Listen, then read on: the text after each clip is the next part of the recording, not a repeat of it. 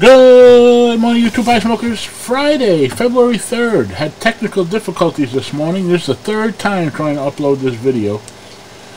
Sorry about that. Positive anything is better than negative nothing.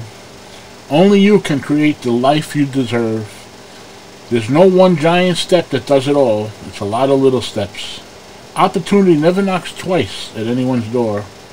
It's okay to put yourself first. Very cold in New York. 19 degrees heading down to zero for the next few days. It gets warmer on Sunday. Anyway, be well, stay safe, and thank you.